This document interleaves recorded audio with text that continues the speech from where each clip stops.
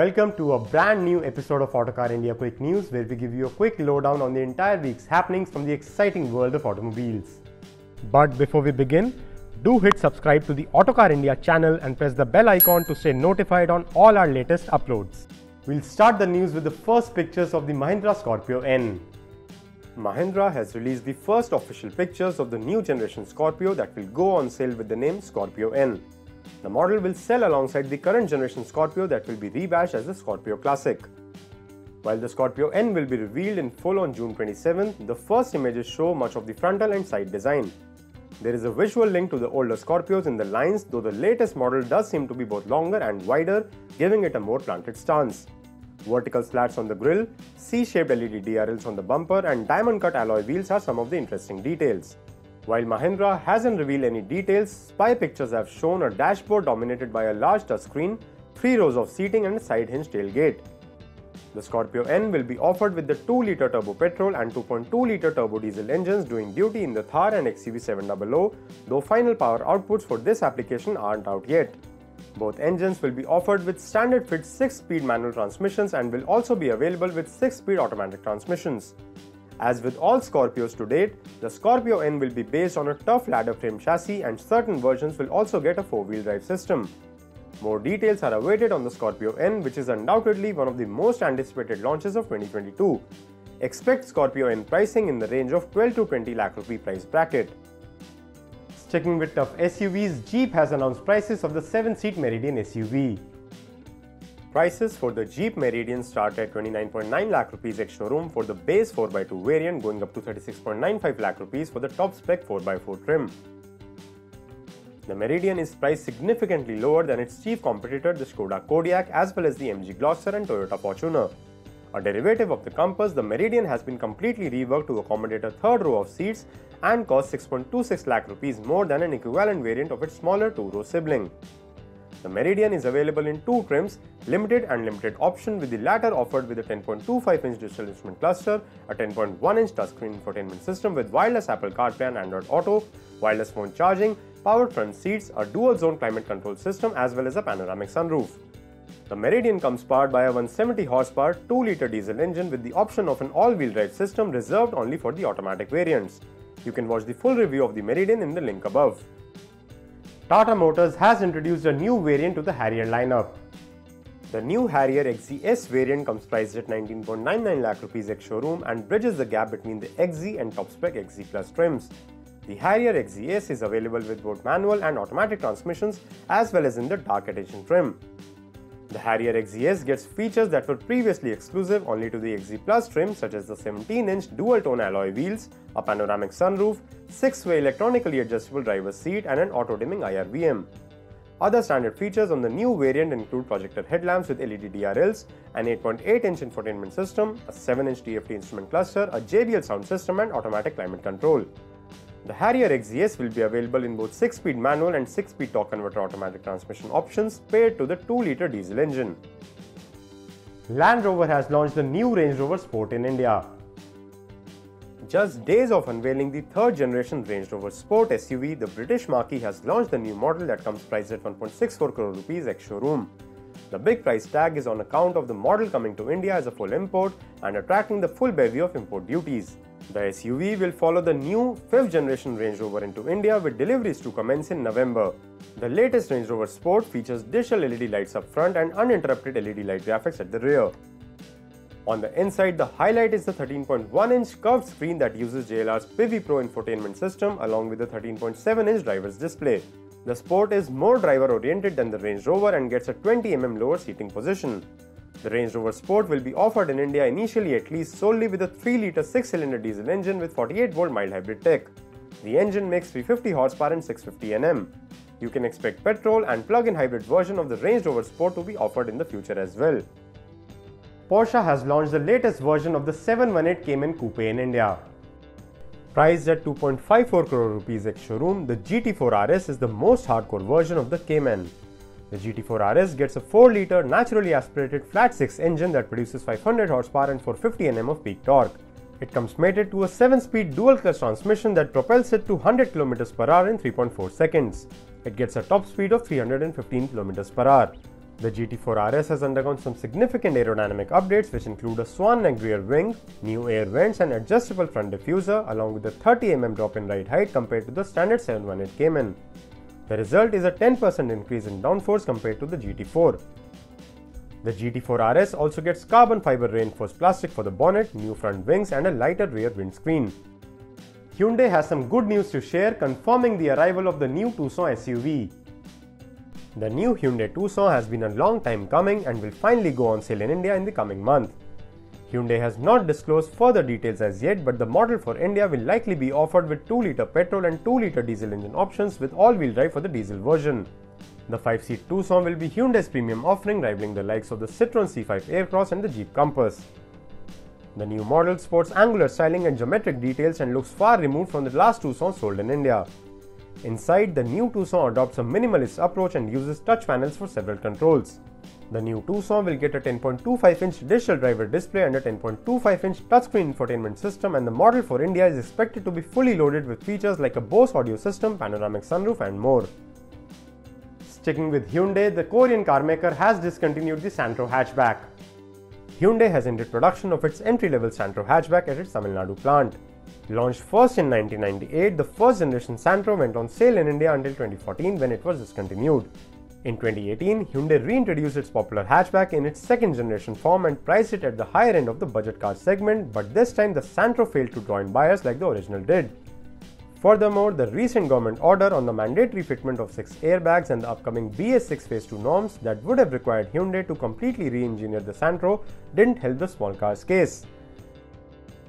Honda Cars India has silently introduced updates to the 4th and 5th generation Honda City models. While the base SV trim on the 4th generation City has been additionally equipped with a 7-inch touchscreen infotainment system from the higher V trim, there has been no price increment with this feature addition. The 5th generation Honda City, however, sees a few deletions, including omission of front and rear mudguards, chrome inside door handles, as well as the full-size spare alloy wheel, which gets replaced by a 15-inch steel space saver unit. Honda will also be removing trim badges from all its models in India, barring the new Honda City Hybrid, which will retain its e:HEV badge on the boot. French carmaker Citroën has revealed plans to enter the EV segment in India with an affordable sub 4 meter model based on the upcoming Citroën C3. The compact EV will likely go on sale next year and would be followed by multiple models with different body styles that could include MPVs and CUVs as well. Citroën plans to ramp up its dealer network exponentially to cater to higher sales volumes these mass market models would bring. The C3 compact SUV will be the first of the mass cars from Citroën and is set to go on sale later next month. And in some global news, BMW has taken the wraps of the updated 3 Series sedan. The facelifted 3 Series sedan gets a new look front end which hosts slimmer LED headlights with an L-shaped DRL signature, a re-sculpted grille and gloss black brake cooling vents. At the rear, it gets a reshaped bumper and color-coded trim elements. The M Sport cars are overtly distinguished by a distinctive hexagonal lower intake in the front bumper and a chunky diffuser at the rear. The long wheelbase 3 Series sold in markets like India and China will also follow similar styling updates. Inside, the 3 Series becomes the latest BMW model to get the new look curved instrument panel that first appeared on the iX EV, hosting a 12.3-inch digital cluster and a 14.9-inch infotainment screen with the firm's latest 8th generation iDrive interface. As part of a wider cabin overhaul, the central air vents have been slimmed down, there are new touch-sensitive buttons on the center console and the shifter for the standard 8-speed automatic gearbox has been redesigned. You can expect the updated BMW 3 Series to go on sale in India by the end of the year with the current 4-cylinder petrol and diesel engines and the 6-cylinder M340i trim. And coming to two-wheelers now, Keeway has officially entered the Indian market. Hungarian two-wheeler brand Keeway has commenced its India innings with three products. The brand, which will retail from Benelli India showroom network, will offer the K-Lite 250V cruiser motorcycle, the VST 300 Maxi scooter and the 60s 300i scooter, all locally assembled in India. While prices are yet to be announced, Keeway has commenced online bookings for 10,000 rupees with test rides commencing on May 26. The deliveries, however, are slated to begin by end May or early June. The Keeway K-Lite 250V is a typical cruiser motorcycle and features a large sculpted tank which houses the instrument cluster. It gets a round LED headlight, contoured seat as well as dual exhaust pipes. The 249cc V-twin engine produces 18.7 horsepower and 19 Nm of peak torque and uses a belt drive system to send power to the rear wheel via a 5-speed gearbox. The Keeway VSF 300 Maxi scooter gets an angular front apron that houses the headlamp unit with 4 LED projectors. It also gets a tinted windscreen, a part analog instrument cluster, LED taillights and keyless operation. The Maxi scooter comes powered by a 278.2cc single-cylinder liquid-cooled engine that puts out 18.7 horsepower and 22 Nm of peak torque. Braking duties are handled by a 240mm disc up front and a 220mm disc at the rear with dual-channel ABS. Finally, the Keeway 6300i scooter is a retro classic inspired from the styling cues of the 60s. It gets a grille on the front apron, hexagonal headlight and split seats. Modern elements include LED lighting and disc brakes up front. While it uses the same engine as the VSF 300, it gets a smaller 10 litre fuel tank and smaller 12 inch wheels when compared to its maxi scooter counterpart. Hero MotoCorp has introduced a new variant of its popular Splendor Plus commuter motorcycle. The new Splendor Plus XTEC comes priced at 72,900 rupees ex-showroom Delhi. The bike gets a segment-first full digital instrument cluster with Bluetooth connectivity. It provides missed call, message alerts and gets an integrated USB port as well.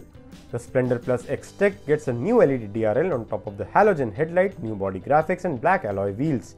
The XTEC however remains mechanically unchanged and comes powered by a 97.2cc engine that produces 7.9 horsepower and also gets Hero's i3S idle start-stop technology. TVS has introduced the updated iQube electric scooter. The iQube, which was initially launched at 1.15 lakh rupees, has now been introduced in a refreshed avatar priced at 98,564 rupees on road Delhi. The price includes the FAME 2 and state subsidies. While the iQube S variant comes priced at 1.08 lakh rupees on road Delhi, TVS is yet to reveal the prices of the new top spec ST trim. Bookings, however, have commenced for a sum of 999 rupees. The biggest change in the 2022 iQube is the improvement in range, which has almost doubled from 75 km in the outgoing version to 140 km in the ST trim, which gets a bigger 5.1 kWh lithium-ion battery pack. The iQube and iQube S variants, on the other hand, get a 3.4 kWh unit with a claimed range of 100 km. In terms of features, the base iQube gets a 5-inch TFT screen, while the mid-level S trim comes with a larger 7-inch TFT display. The top spec iQube ST on the other hand gets a 7-inch touchscreen display with OTA compatibility and a new user interface. It also gets a higher 32 liters under-seat storage and fast charging capability through a 1.5 kW off-board charger. BGauss has launched its D15 electric scooter.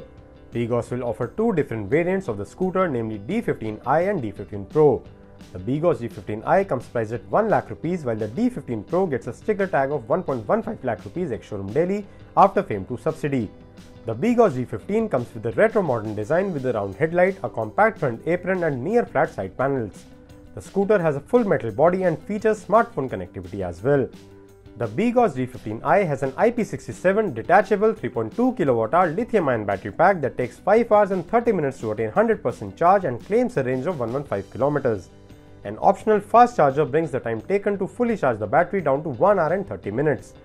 The key differentiator between the two variants is that while the D15i gets a single lithium-ion battery pack, the D15 Pro gets an additional valve-regulated lead-acid battery as well.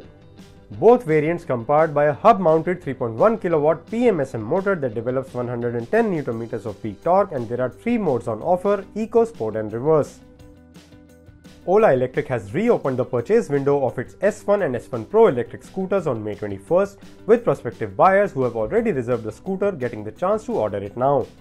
Ola has also announced that there would be a hike in the prices of its scooters, which were earlier priced at 85,000 and 1.1 lakh rupees on road Delhi, respectively, after all subsidies. And that's all the news we have this week. Thank you very much for watching. See you again next week with more news and more scoops from the exciting world of automobiles. Till then, Keep enjoying Autocar India.